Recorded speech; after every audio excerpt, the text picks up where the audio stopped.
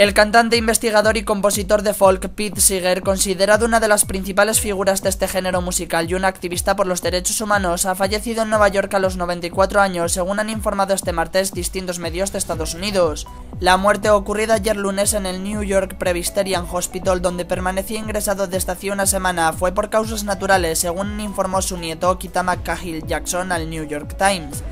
La carrera de Siger, para quien la música folk tenía un sentido comunitario y era un vehículo de la acción política, le llevó desde el top 10 de la música radiada a los auditorios de los festivales folk y desde su desprecio por el Congreso a la actuación en el Memorial de Lincoln en el concierto inaugural en honor de Barack Obama. Cantó para el movimiento obrero en defensa de los derechos civiles y contra la guerra del Vietnam, apoyó la lucha por el medio ambiente y clamó contra las campañas belicistas.